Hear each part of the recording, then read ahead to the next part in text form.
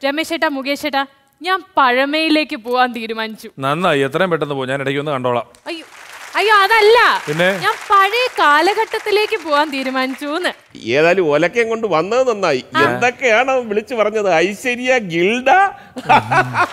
ഇങ്ങനെയൊക്കെ ഉള്ള എന്തെങ്കിലും പ്രശ്നം ഉണ്ടെങ്കിൽ ഒലക്കയായിട്ടൊന്ന് വന്നാൽ മതി. ഇവൻ മണി പടിയോടെ എല്ലാം പറയും. കറക്റ്റ് പക്ഷെ എനിക്ക് ഈ ബുദ്ധി പറഞ്ഞു തന്ന ആരാന്നറിയാമോ? ആരാ? മുകേഷ് ഏട്ടന്റെ ഭാര്യ ദേവിക ചേച്ചി.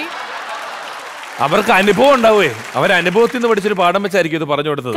അല്ല പിന്നെന്താ ആര്യ പഴമയിലേക്ക് പോകാൻ തീരുമാനിച്ചത്? മുകേഷ് ചേട്ടാ ഈ പുതുമയ്ക്ക് ഒരു പഴമയില്ല എന്നുള്ളതാണ് എന്റെ പ്രശ്നം. അതനുസരിച്ച് ഞാൻ പഴമയിലേക്ക് ചെന്നപ്പോ പഴമയ്ക്ക് ഭയങ്കര പുതുമ. പുതുമയെ ഞാൻ വെറുക്കുന്നു. ഈ നാടിന്റെ പോക്ക് കാണുമ്പോഴേ എനിക്ക് പേടിയാവാ. എനിക്ക് നിന്റെ പോക്ക് കാണുമ്പോഴാണ് പേടിയാവുന്നത്. അതിനുള്ള ആദ്യ മുന്നോടിയായിട്ടാണ് ഈ ഒലക്ക. അപ്പൊ ഈ ഒലക്കയും കുത്തിപ്പിടിച്ചോണ്ടാണോ പഴമയിലോട്ട് പോകാൻ പോകുന്നത് അതല്ല. പിന്നെ? ഇനി മുതൽ ഞാൻ ഈ ഒലക്ക ഉരൽ അമ്മിക്കല്ല് ഇതൊക്കെ ഉപയോഗിക്കാൻ പോവാ. അപ്പോൾ ആട്ട്? അതല്ല ആട്ടുകല്ല്. ആ ആട്ടുകല്ല്. ആട്ടുകല്ല് പുറകെ വരുന്നുണ്ട്.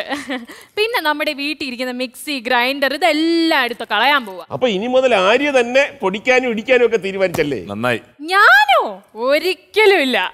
ഓ ജോലിക്കാരെ വെക്കുമായിരിക്കും. ആയിരിക്കും. മുകേഷ് ഏട്ടാ രമേശ് ഏട്ടന് ഇവിടെ ഒരു പണിയും ഇല്ലാതിരിക്കുമ്പോ ഞാൻ എന്തിനാ വേറെ ജോലിക്കാരനെ വെക്കണം. ഞാനേ. ഒരു സെലിബ്രിറ്റിയാണ്.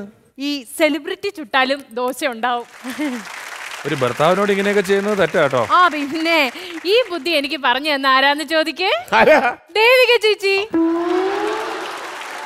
പിന്നെ നിങ്ങൾ രണ്ടുപേരും ഈ വസ്ത്രങ്ങളൊക്കെ ഒന്ന് മാറ്റണം. അതല്ല.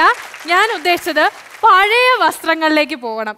അതായത് മുകേഷ് ഏട്ടൻ ഒരു അരമുണ്ടൊക്കെ കൊടുത്ത് അവിടെ ഇരുന്ന ഈ കഥകളൊക്കെ പറഞ്ഞ് അടിപൊളിയായിരിക്കും. വേണമെങ്കിൽ ഒരു പാളത്തൊപ്പിയും കൂടെ വെക്കാം.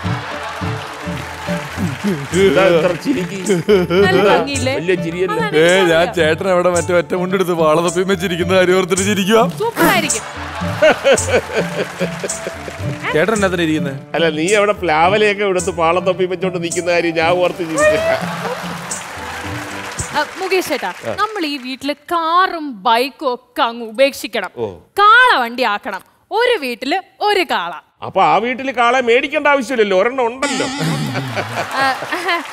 പിന്നെ നമ്മൾ ഈ എ സി ഫാന് ഇതൊക്കെ ഉപേക്ഷിക്കണം. വീശി കിടന്നുറങ്ങണം. രണ്ടെണ്ണം വീശ എനിക്ക് ഒന്നും വേണ്ട. ഞാൻ സുഖമായിട്ട് എവിടെ വേണേലും കിടന്നുറങ്ങാം. പിന്നെ നമ്മൾ ഈ വിമാനം എന്ന് പറഞ്ഞ സാധനം അങ്ങ് പാടെ ഉപേക്ഷിക്കണം.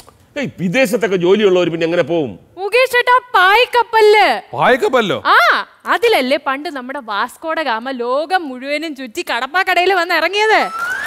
കടപ്പാക്കടയല്ല കാപ്പാട്. ആ കാൽപ്പാട്. തിരുത്താൻ നിൽക്കണ്ട തിരുത്തി ഇതിലും വലിയ ഇവിടെ അല്ല ആര്യക്ക് ഈ പഴമയോട് പെട്ടെന്ന് ഇങ്ങനെ ഒരു പ്രേമം വരാൻ കാര്യം എന്തോ? അതെ. മുകേഷ് ഏട്ടാ പെട്ടെന്നുണ്ടായതല്ല. എനിക്ക് പണ്ടേ പഴമയോടാ പ്രേമം. എന്നിട്ട് പിന്നെ പിഷാരടി എങ്ങനെയാണ് കല്യാണം കഴിച്ചത്? അയ്യോ മുകേഷ് ഏട്ടൻ അറിയാൻ പാടില്ലാഞ്ഞിട്ടാ ഈ രമേശ് ഏട്ടന് നല്ല പഴക്കമുണ്ട്. ഈ മുടിയൊക്കെ ഒന്ന് കറുപ്പിടിച്ചെടുക്കാൻ തന്നെ രണ്ട് ദിവസം ഷൂട്ടിനൊന്നും പോവാതെ വീട്ടിൽ കുത്തിയിരിക്കുന്ന ആളാ. ആ.